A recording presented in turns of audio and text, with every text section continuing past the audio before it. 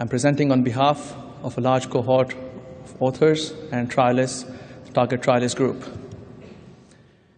The scientific rationale for TARGIT comes paradoxically from a pathological analysis of mastectomy specimens in which we found that breast cancer is frequently multicentric, but most recurrences occur near the primary tumor, just as they might, and very few in the other quadrants as they would occur in the other breast. So we felt it would make sense to give radiotherapy only to the area around the primary tumor. We collaborated with industry and developed a technique called targeted intraoperative radiotherapy, which is in short called TARGIT. It uses a mobile machine used in a standard operating room, delivering physical dose of 20 gray at the tumor bed surface over 20, about 25 minutes. The first case was performed in UCL on 2nd of July 1998. The technique uses a miniature electron generator and accelerator, which accelerates electrons along a 3.2 millimeter tube, which strike a gold target to generate X-rays, which are modulated by a spherical applicator placed within the breast to give a uniform dose of radiation to the tissues at highest risk, such that the dose corresponds to the tumor cell density. Some translational work appears to support what we're trying to do. When you operate, you find the wound fluid collects in the breast wound. And this wound fluid stimulates proliferation, motility, and invasiveness of cancer cells in the laboratory. And what we found is that if you take wound fluid from patients who have received TARGIT, this stimulation is abrogated. Therefore, we felt that TARGIT might be creating an environment, a microenvironment that is not particularly conducive to tumor cell growth. Therefore, perhaps improving what we might, its efficacy compared to what the dose that we are going to give. So the TARGIT A trial included patients over the age of 45 with unifocal invasive duct carcinoma, but with no MRI that was required. Only 6% of patients in the trial had MRI performed. The size, we said, should be preferably less than 3.5 centimeters, and patients were randomized to two policies. Let me reiterate, there were two policies comparing the standard policy of fractionated external beam radiotherapy as per local policies, and the second policy was the risk-adapted radiotherapy, giving single-dose targeted intraoperative radiotherapy with intrabeam and if postoperatively high risk factors were found, there was a facility and a strong recommendation in the protocol to add external beam radiotherapy. We expected this to happen in about 15% of patients, and in reality, we got to 15%. Between 2000 and 2012, 3,451 patients were randomized from 33 centers in 10 countries. The trial started in Europe, but it was very much an international trial with participation from Australia and North America. The patients, although the criteria for entry were wide, the patients who actually entered the trial were good prognosis patients. However, they were not just elderly patients.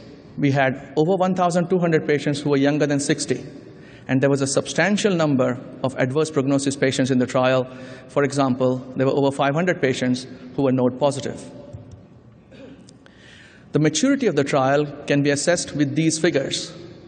We have in the trial 1,222 patients with a median follow-up of five years, over 2,000 patients with a median follow-up of four years. The completeness of follow-up, you can see in the bottom half, the red line is the expected follow-up, and the blue line is what the actual follow-up is, showing that they are very close to each other. And 94, nearly 94% of patients were seen in the previous, for seen for at least five years or in the preceding year. These are the outcome measures I'm going to show.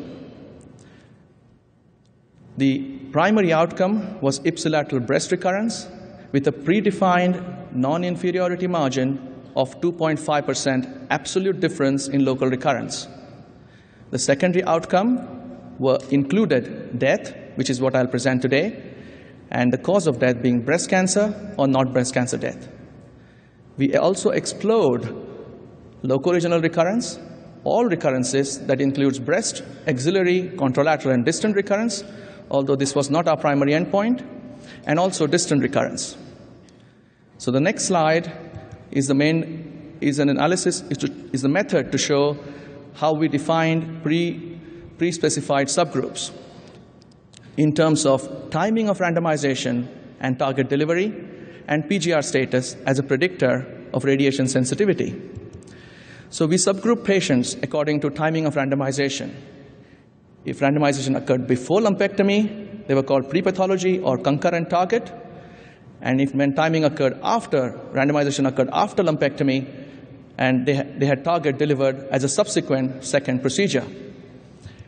We subgroup patients according to the PGR status as a surrogate for hormone sensitivity because the Oxford overview suggested that radiotherapy appears to be more effective in hormone sensitive tumors. So, in these graphs, the red bar shows the recurrence without radiotherapy, and the reduction in radiotherapy is seen by the light pink bar.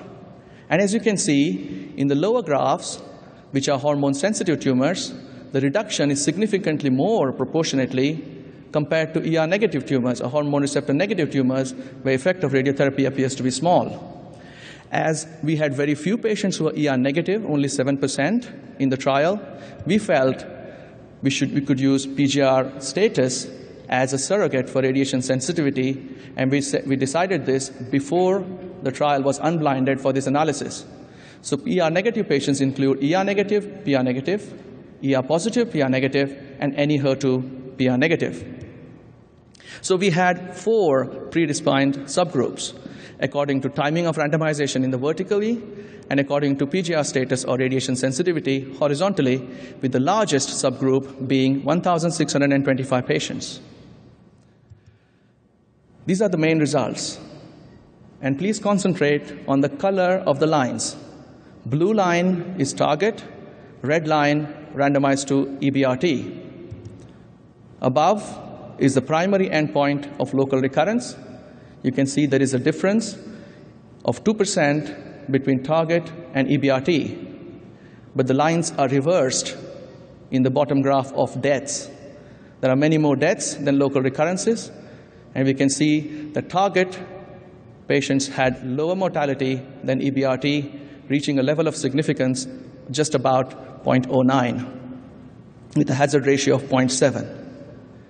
Now, I will drill down this result according to the subgroups, firstly for the primary outcome and then the secondary outcome. In terms of the primary outcome, we explored whether this difference made a difference in local regional recurrence. You can see that the local regional recurrence is mainly difference is driven by the ipsilateral breast recurrence, and it is not seen in the largest subgroup of pre-pathology PGR positive cases. Similarly, all recurrence difference is also driven by the difference in ipsilateral breast recurrence, and there is no difference in the largest subgroup of pre-pathology PGR positive patients. Thankfully, we have found no difference in distant recurrence in the whole trial or none at all in the pre-pathology PGR positive cases. In terms of the ipsilateral breast recurrence, the primary endpoint, we found that most of the difference arose in the post-pathology when TARGIT was given as a second procedure or those who are progesterone receptor negative patients who were less sensitive to radiation, so the smaller dose may not have been enough. And in the largest subgroup of 1,625 patients, if you see, there is no difference at all in the ipsilateral breast recurrence with a difference of 0.18 with a confidence interval straddling zero. And in terms of death, there was an absolute difference of 3.1% reduced total number of deaths with a borderline level of significance of 0.08, a 3.1% absolute difference with a hazard ratio of 0.6 and a p-value of 0.08. In order to drill down what the cause of this reduced mortality in TARGIT is, we looked at the deaths.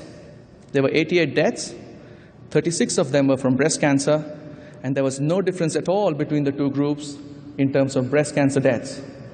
But in terms of non-breast cancer deaths, we found a highly statistically significant reduction in mortality in patients that were randomized to TARGIT. And that this difference was quite large, and we wanted to find out why this difference was present. So we had independent assessment of cause of death by somebody, a senior clinician, who did not participate in the trial or did not know the randomization. And what we found is that the non-breast cancer death difference was driven by hugely reduced cardiovascular events and deaths from other cancers, with a hazard ratio of difference between 0.47 with a p-value of 0.0086 and a difference of between 1.4% to 3.5%. So in conclusion, in terms of the primary endpoint, the absolute difference in ipsilateral breast recurrence between TARGIT and EBRT for the whole trial unselected is 2%, and for pre-pathology PGR positive, the largest subgroup, it is 0.18%. In terms of the secondary endpoint of death, compared to TARGIT, compared to EBRT, TARGIT, we found results in significantly fewer non-breast cancer deaths, leading to a trend in reduced overall mortality. So how should one select patients for TARGIT? I would say cautiously. Patients should have all the fulfill the criteria for entry into the TARGIT A trial. And currently, we feel our preferred option is to use TARGIT at the time of lumpectomy concurrently and choose PGR positive patients. We must add external beam radiotherapy if adverse prognostic factors are present in about 15 to 20% of patients. We believe that these new data will significantly improve the choice and for patients and their clinicians to improve their individualization of local treatment for breast cancer. Acknowledgements are due to all the centers, all the investigators, and all patients and their families who participated in the trial. Thank you very much.